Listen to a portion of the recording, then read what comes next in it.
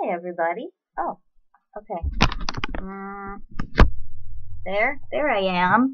Boy, did I look little and short. Okay. Hi again. welcome, welcome, welcome. Um, today's sermon is titled, just to get your attention, the Messiah's paternity test. And don't worry, you're gonna see what it's all about. Don't, don't worry, it's nothing sacrilegious. Um, but I hope that you receive a good message from this sermon, and uh, I pray that blessings of God are on you as we enter into this time of discovering new things about His Word and old things about His Word. So, the reading today from Scripture is from the Gospel of Matthew, chapter 22, verses 34 through 46. When the Pharisees heard that he, Jesus, had silenced the Sadducees, they gathered together, and one of them, a lawyer, asked him a question to test him. Teacher, which commandment in the law is the greatest? He said to him, You shall love the Lord your God with all your heart, with all your soul, and with all your mind this is the greatest and first commandment, and the second is like it: You shall love your neighbor as yourself. On these two commandments hang all the law and the prophets. Now while the Pharisees were gathered together, Jesus asked them this question: What do you think of the Messiah? Whose son is he? They said to him the son of David. He said to them, How is it then that David, by the Spirit, calls him Lord, saying, The Lord said to my Lord, Sit at my right hand until I put your enemies under your feet. If David thus calls him Lord, how can he be his son? Now no one was able to give him an answer, nor from that day did anyone dare to ask him any more questions. This is the word of God for the people of God. Thanks be to God. So you've probably noticed the first part of our gospel reading today is a familiar lesson. It's preached on often. Um, when asked which commandment in the law is the greatest, Jesus offered his twofold answer. You shall love the Lord your God with all your heart, with all your soul, and with all your mind. This is the greatest and first commandment. And the second is like it. You shall love your neighbor as yourself. I know it's not easy, but I also know it gets preached on a lot. And there's a lot of excellent sermons on this piece of scripture, which reminds us to be completely and totally in love with God and to treat others the same way we want to be treated with love. Granted, this is probably preached so often because we forget to obey these simple commandments and we need to be reminded of them. But today we're just getting this, this short reminder. So please, for the love of God, be kind and obey his commands. Now what about that second part of the gospel lesson today? We rarely hear this section preached on. I know I've never preached on it, but after 12 years of pastoral ministry, I think it's time to just dig into this passage and discover why the Pharisees were so stumped and so silenced in their attempts to catch Jesus in an act of blasphemy. So to place the scene, Jesus decided it was his turn to ask the questions. So he asked the Pharisees a question that would lead to the revelation of his identity as the Son of the Most High God.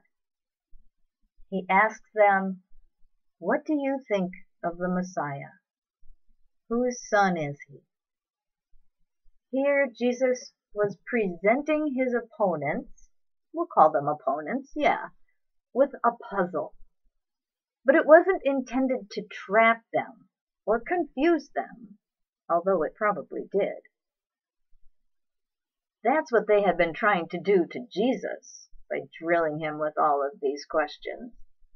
But instead, Jesus intended to, well, force these men to go let go of their preconceived notions about what the Messiah ought to be, and then to come to a conclusion about Jesus that the Holy Scriptures and Jesus' own works of miracles required that they realize. Thinking this was the easiest question ever to answer, as the prophets had always been told the Messiah was to be a son of David, they replied as such. They were correct in their answer. The Messiah was to be a descendant of King David. Yes, everyone knows that. But then Jesus went on to show that that answer alone was only half correct. And a half correct answer to the most important question of all time is not an answer that leads to salvation. So then Jesus hit him with a real stumper as he referenced Psalm 110. It was written by King David, and he asked those gathered Pharisees, How is it then that David by the Spirit calls him Lord, saying, The Lord said to my Lord, Sit at my right hand until I put your enemies under your feet. If David thus calls him Lord, how can he be his son? Ooh. Excellent question. He's got him there. Think about it.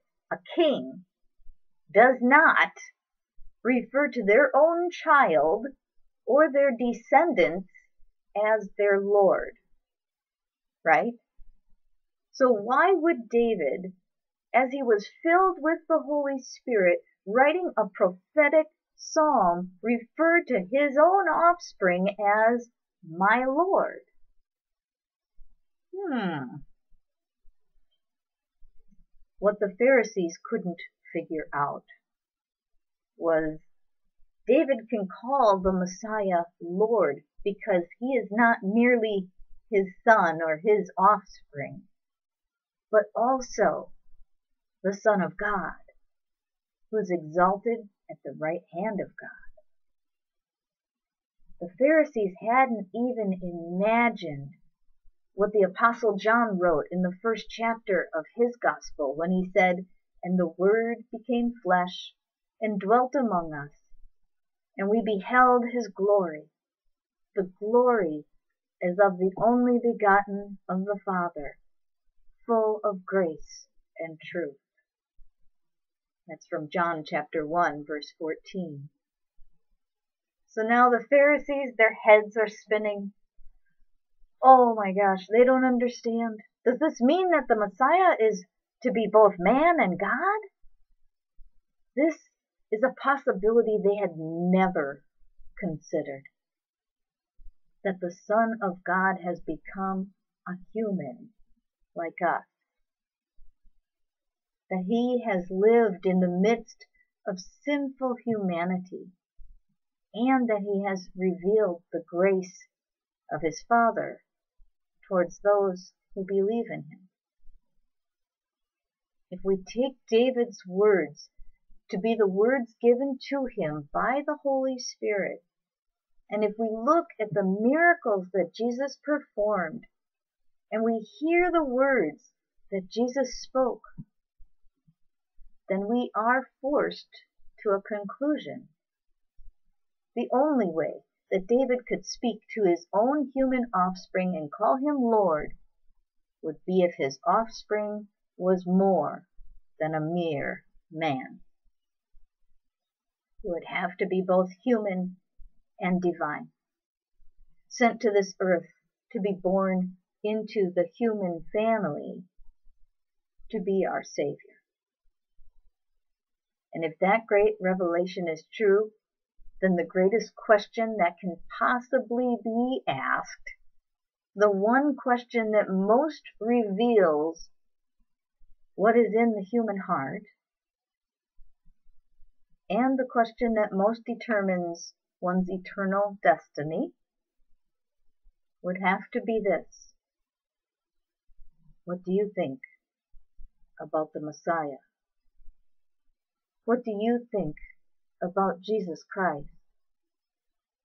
That is the question we must all ask ourselves. Who is he to you? Are you fulfilling your calling as one redeemed by his blood to submit your life to his bidding?